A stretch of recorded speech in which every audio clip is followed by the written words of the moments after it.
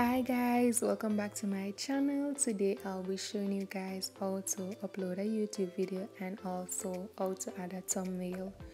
First, I'm to click on the plus icon, click on upload a video, then tap on the video that I want to upload.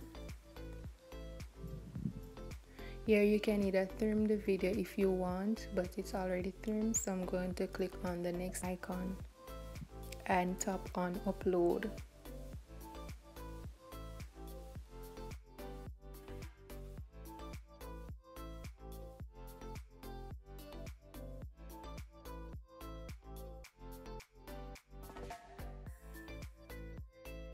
So yes guys, that's basically it on how to upload a YouTube video.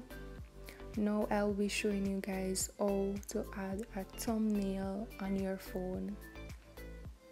So yes guys, tap on YouTube Studio. Know that I already have the YT Studio app downloaded on my phone so it'll take me right there. I am going to click on the video that I just uploaded, click the editing icon click on it a second time then you can add your custom thumbnail.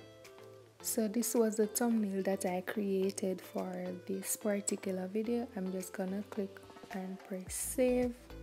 So now I'm going to go on YouTube and show you how it looks. So yes guys that's basically it. Watching this video if you do just give it a big thumbs up. Subscribe if you're new and leave a comment down below and let me know what you think about this video. Until next time, stay safe.